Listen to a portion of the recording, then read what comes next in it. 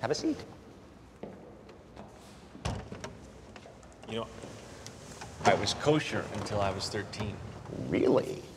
Yeah, yeah, my father told me that I was officially a man at my bar mitzvah. So I told him that as a man, I wanted to have a bacon double cheeseburger. I think I saw his head explode.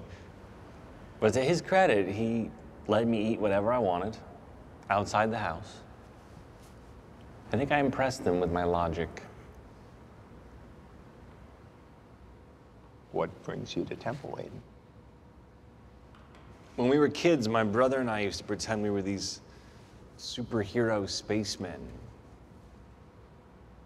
We'd go out to the woods behind our house and pretend it was this mystical planet, and we were the only ones who could save everybody.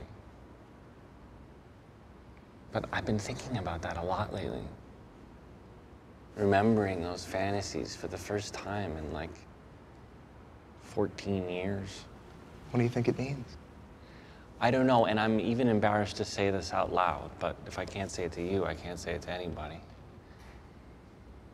Do you think God is trying to tell me something? Trying to guide me in some way? And if you say he works in mysterious ways, I will run out that door.